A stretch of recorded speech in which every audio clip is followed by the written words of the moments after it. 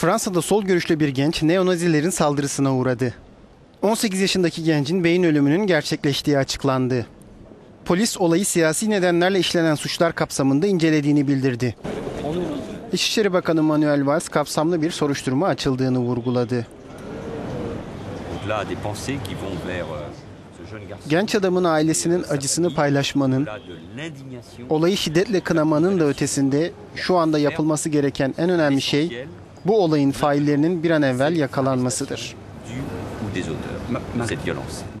Görgü şahitleri birkaç neonazi görünüşlü kişinin tişört satışı yapan Cleman Merrick'le tartıştığını, daha sonra da büyük bir grupla dönerek genci dövdüğünü ve gencin düşerek kafasını kaldırıma çarptığını belirtti.